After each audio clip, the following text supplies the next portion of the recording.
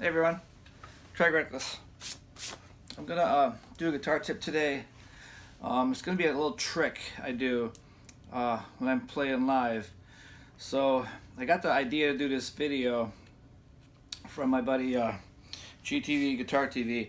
So I'm gonna put the video uh, that gave me the the idea to do this idea for you guys. Um, but he uh, he had an idea where um, you have a Gibson, you can get three sounds out of your, your one guitar, which is really cool. Um, so I'll put that link in my description below and uh, check that video out. But uh, it sparked uh, something I wanted to sh show you that I, I, do live. I'm not sure how it's going to turn out with my practice amp, but uh, it's something I do live, and, I, and I've done it forever. Uh, it's a really neat trick. Um, I probably do it more than anybody I, I, I know as a guitar player. Not because I'm better at it, because it's really nothing to it. It's just that I just love it, and uh, I just like it, and I use it a lot. So let's show you what I'm doing. Okay, so first we're gonna, get a nice distortion. All right, so you got to have it's is all gonna be in the toggle switch. So my toggle switch is gonna be down.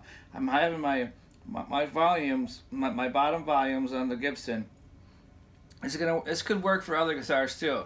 Um, if you have a a toggle, but um, so my bottom volume, I'm going to have the volumes all the way up to 10. Okay, so when I come up, I'm going to be anywhere from zero to four when I do this. So it's going to be like this.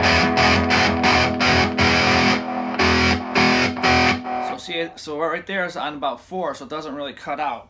So if I put it on zero, it, it's something like this.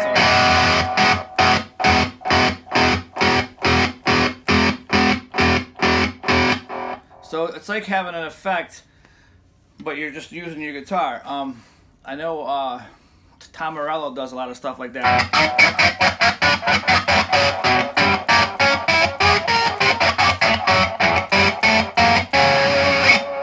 So I, I do this a lot too, but I I uh, one of my most favorite things I like doing with this um, the, the, the, toggle switch is actually getting a nice feedback going right? So sometimes like there's a trick with feedback like so say you're you're doing a sound check um, you, when, you, when you turn around you'll know where your feedback is. So you, you, you'll, you'll, you'll have your guitar stand in a certain way and uh, if, if you stand another, like an inch this way or another foot this way, you might not get the same feedback. So sometimes you take a little piece of duct tape, put it down on the floor where your feet were, and you know where that spot is on stage to get that feedback. You know what I'm saying? Or or you can just you can just you know take the guitar and and, and, and you'll hear it. You know it, it'll sustain more. So, but anyways, I'm gonna try this with my amp, the, the, the, the, thing I like to do. So let's, uh, let's, so I'm, I'm gonna get a nice little, nice little feedback on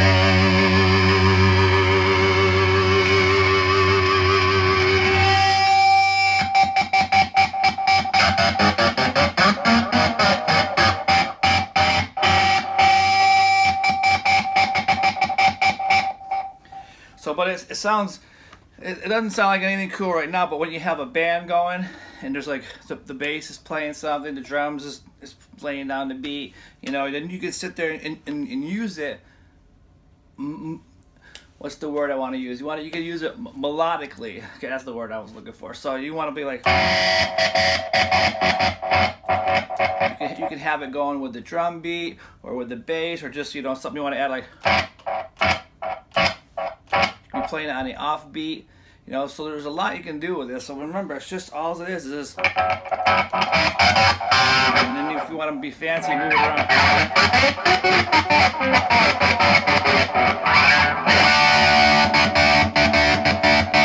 Play chords. So it's really a simple trick, but anyways, again, check out GTV and uh, have a great day.